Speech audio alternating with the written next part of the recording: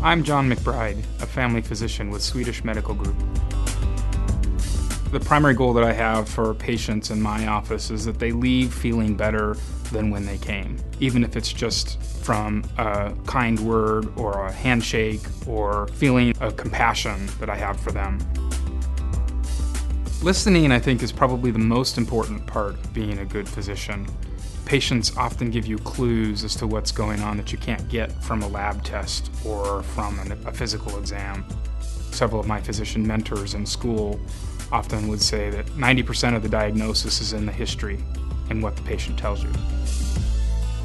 Because we do family medicine and take care of patients from birth through the continuum of life, that we really do get to establish those relationships. And because we're in a small community, we start to see people on the street and in the grocery store and at the park, and it's pretty powerful.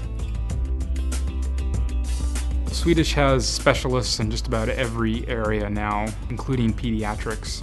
I feel like that integrated approach to healthcare within organization is better for patients and, and better for primary care doctors.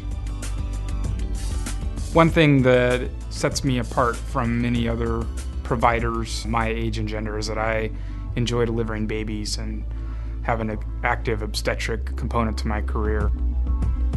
Family medicine really is taking care of families, and families start with babies, so it's one way to continue that I'm busy well into the future.